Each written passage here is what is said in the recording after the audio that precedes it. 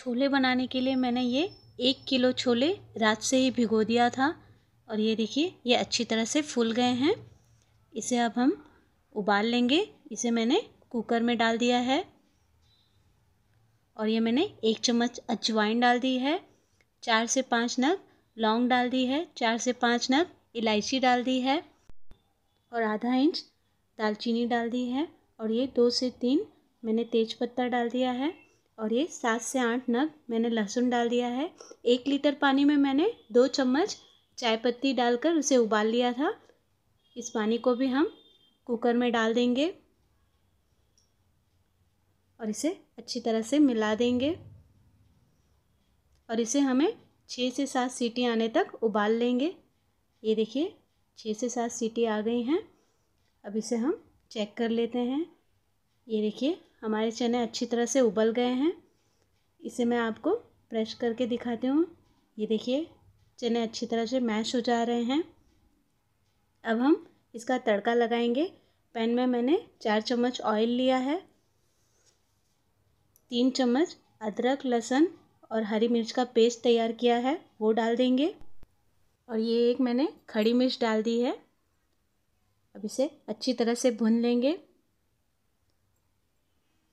और ये मैंने तीन बड़ी साइज़ की प्याज को पीस लिया था।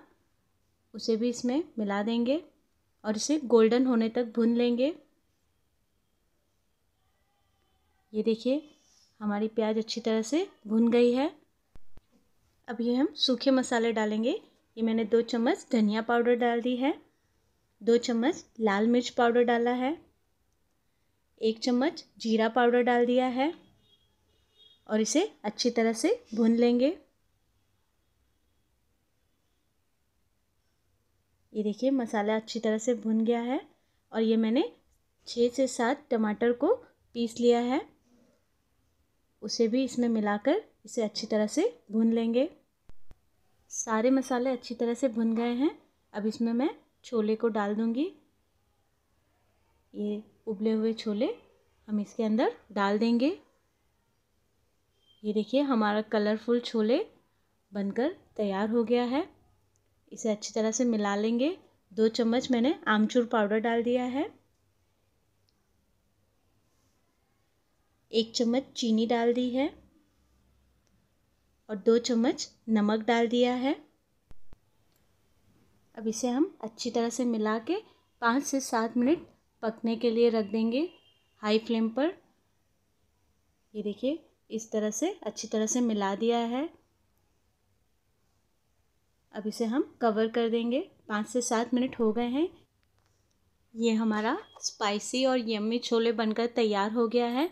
आप देख सकते हैं, ये देखने में कितना यम्मी लग रहा है। और इसे अब मैं सर्विंग बाउल में निकाल देती हूँ। और इसके ऊपर हरी धनिया के पत्ते डाल दूँगी। ये देखिए, इस तरह से डालकर मैंने इसे गार्निश कर दिया है। और इसे मैंने नींबू के साथ सर्व किया है। तो फ्रेंड्स, एक बार इस तरह से छोले बनाइए, खाइए और अपने अनुभव मेरे साथ शेयर करिए। और मेरे चैनल को लाइक और सब्सक्राइब करना ना भूलें। Thank you.